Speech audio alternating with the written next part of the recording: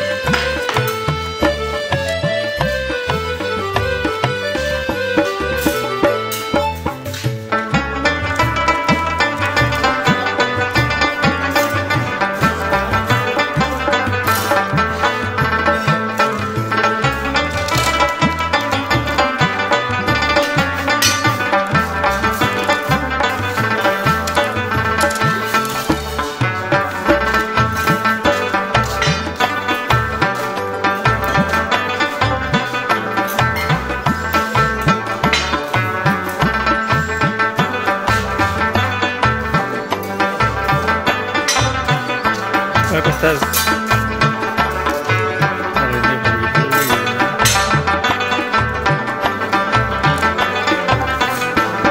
Sangha.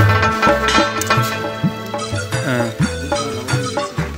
Ja, dann ich glaube, das heißt.